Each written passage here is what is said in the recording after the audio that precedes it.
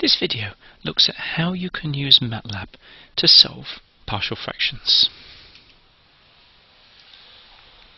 Now, we're going to assume that students can do inverse Laplace techniques with pen and paper, and they're probably convinced by now that it's relatively tedious, and although you need to understand it, you might not want to do it this way in practice. So the aim here is to ask how we can use software tools perhaps to check the working on pen and paper, or indeed to automate this in general, especially where the tasks are numerically demanding, which is often the case when you're doing partial fractions. Why do it on pen and paper when a computer can do it much more quickly and accurately? A reminder then of the key steps when doing an inverse Laplace. The first thing you need to do is to identify what are all the poles in the system. So here you see I've got uh, a transfer or Laplace transform f of s equals q over p and I've said it's got poles r1, r2 all the way up to rn. And you'll remember that from the earlier videos. When we're doing partial fractions, the next step is to identify all the residues the C1, C2, C3, all the way up to Cn. So what we're doing is we're saying I can write Q over P as C over R1 plus C over R2 all the way up to Cn over Rn. This video will demonstrate how MATLAB can be used to determine the residues, that's the values Ri, sorry, I've got that wrong, that's the poles Ri, and the residues Ci. First, however, a warning. When you're using MATLAB, it does not distinguish between real and complex poles. So if you have p equals w over s squared plus w squared, just for example, and you try to use MATLAB to find the partial fractions, it will give you a of s plus j omega plus b of s minus j omega. That is, it won't recognize this is a quadratic factor, probably best left as a quadratic factor, it will say no, there are two separate poles here, so they're complex, I don't really mind, and it will give you the two poles as complex numbers, and indeed the two residues A and B will also be complex numbers. A different example here, what if you had n equals as plus b over s plus a all squared plus omega squared? MATLAB won't recognize that's a quadratic factor in the denominator, and it will say no, you've got a pole factor here, s plus a plus j omega, and another pole factor, s plus a minus j omega, with corresponding residues a and b, which will be complex. Now you can show that this capital A, capital B are complex conjugates, but there isn't really much point in that because that's algebra for the sake of it. How does MATLAB work then? Well, the basic tool covered in this video is just a single tool, residue m. And the command line you can see given here is residues, comma poles equals residue, comma num, comma den. So what are each of these um, variables? First of all, poles. Fairly obvious. Poles will be a vector which contains the pole positions Ri. It will always give the full complement, so if you've got repeated poles, it will list that pole more than once as appropriate. Residues. The residue Ci will be given in a vector and the positions will be matched to the positions of the corresponding poles in the poles vector. So the first um, residue and residues will go with the first pole in poles and the second with the second and so on. We'll illustrate that in the following slides. And finally, what inputs do you give? Well, you need to give two vectors.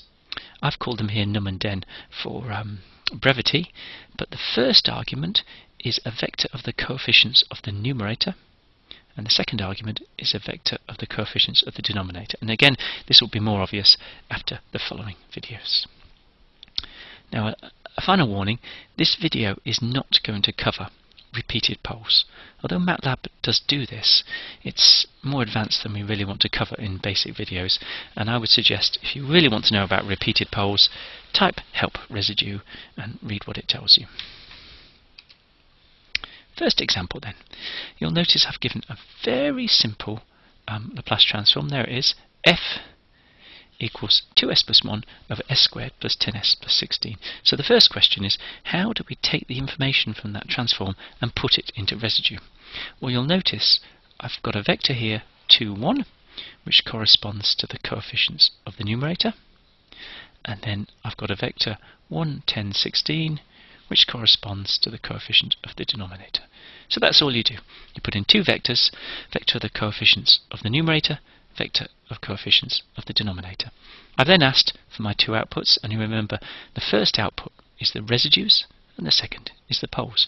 Now it may be obvious to you, I hope it's obvious, that s squared plus 10s plus 16 can be written as s plus 2, s plus 8. So you can almost see by inspection the poles are minus 2 and minus 8. And lo and behold, what do you see down here? MATLAB has told you I've got a pole at minus 8 and a pole at minus 2. And therefore, if I'm going to write out um, my partial fractions, I've got f equals something over s plus 2 plus something over s plus 8. So what I need now is the corresponding residues. Well, you'll see, as we said, you just match them up. So this minus 8 goes with the 2.5. So let's put that over here, 2.5. And the minus 2 goes there, so minus 0.5. So as easy as that. A second example.